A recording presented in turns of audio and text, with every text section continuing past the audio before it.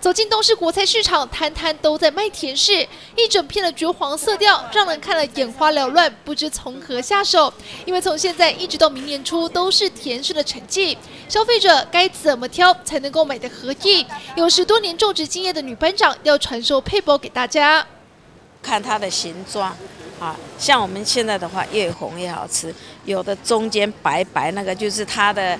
色泽没有均匀，那个就不好吃。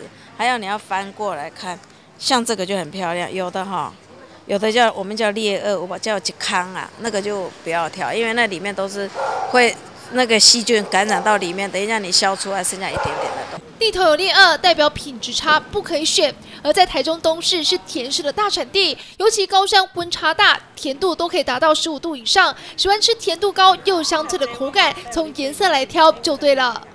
越红的它比较软啦，啊，越就是说比较没有那么红的，它就就脆了。就是看人家喜欢，有人喜欢吃脆的，甜的那你就要选红的。除了挑选有诀窍，甜食的吃法也很多，大人小孩吃法皆不同。我自己我是连皮吃，因为我们这个到七月的话，我们就套袋了。七月到现在十一月，等于套袋两三个月才采收，这中间。也都没有喷药，有喷药就是一些杀菌的，不是农药。旁边有软的，那就先小来吃，而且软的不是坏哦，软像有老人家牙齿不好，用汤匙咬来吃也很好吃。对柿子不能跟酒搭配一起吃的禁忌，柿农也有话说。那是软柿子，他用等头啊，有没有去放那个是那个东西跟酒吃起来不好啊？这个拢在长呀，你随便。树上摘下来就可以吃了，所以没有问题，可以很放心的吃。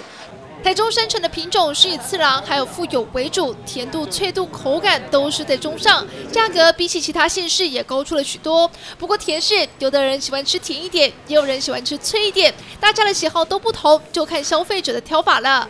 郑家话，台中采访不到。